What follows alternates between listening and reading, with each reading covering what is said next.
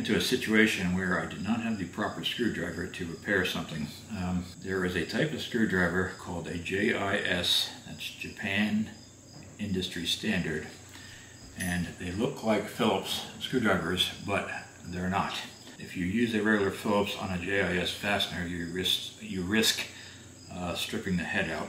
Picked up a, a box of uh, JIS screwdrivers. This is Vessel. I've never bought anything from them before, but got good reviews. From what I could determine, there are four different sizes, and this has all four.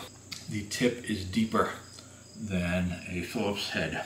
It goes deeper into the fastener.